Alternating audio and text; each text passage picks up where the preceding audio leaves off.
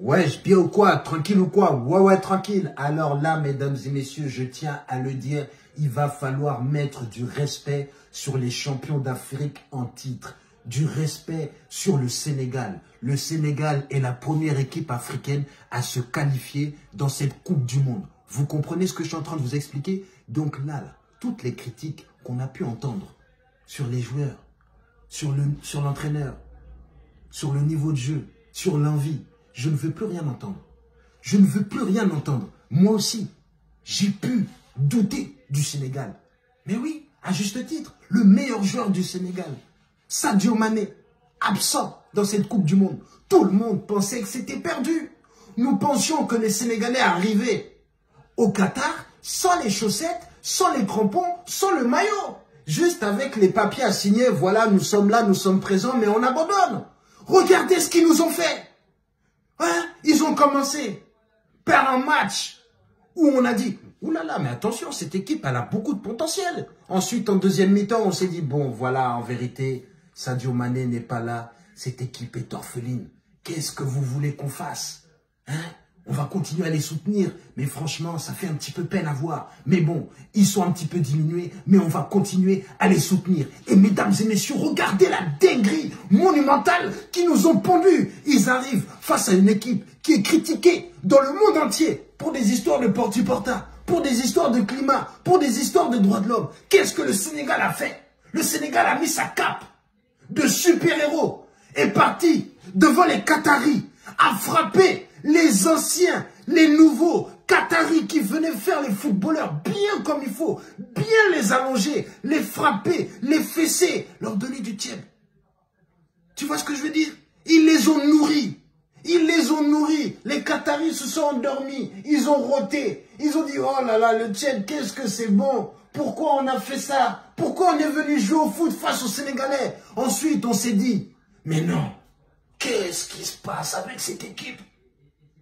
Oh là là, elle peut se qualifier sans son meilleur joueur. Donc, nous sommes tous arrivés derrière le Sénégal en train de dire Allez, why Monday Sénégal rec On a commencé à danser le mbala, on a commencé à faire droite à gauche, on a commencé à tout faire. Maintenant, on a attendu ce jour fatidique qui est aujourd'hui le Sénégal qui affronte l'Équateur, mesdames et messieurs. On a vu, mesdames et messieurs, le Sénégal en mode Joga Bonito.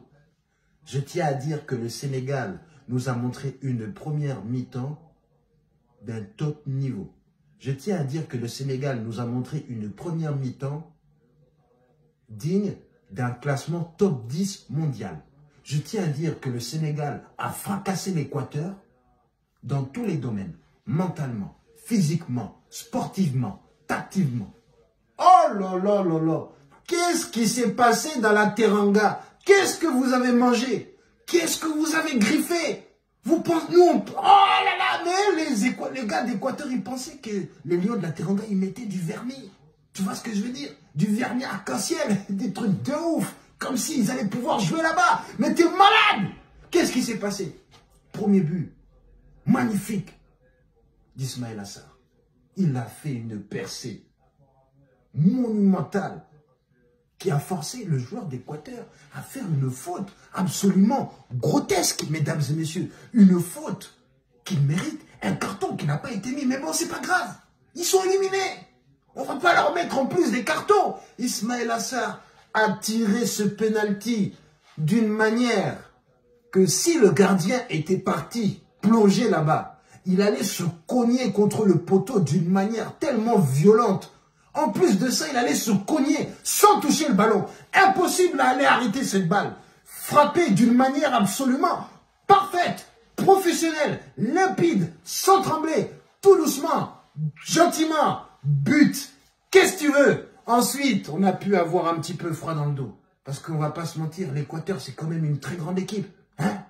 Ils ont fracassé le Qatar comme du grand n'importe quoi. Ils ont fait match nul face aux Pays-Bas. Attention, c'est pas n'importe qui. Tu vois ce que je veux dire? Ils ont commencé à courir vite partout. T'as vu comment ils courent vite? C'est n'importe quoi. Le gars, il lui manque un genou. T'as pas vu comment il court Menteur. Mais bon, on n'a rien à dire.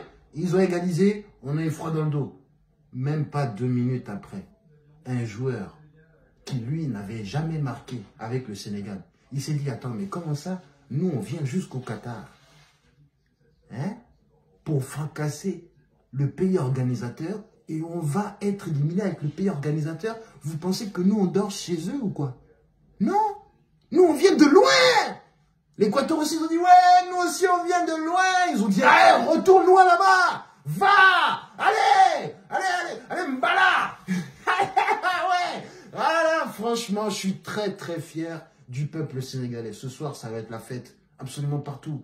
Vous allez entendre des klaxons. Hein? Tous ceux qui ne voulaient pas regarder cette Coupe du Monde vont malheureusement savoir euh, tout ce qui se passe de cette Coupe du Monde. Tout le monde en parle. Dans toutes les langues.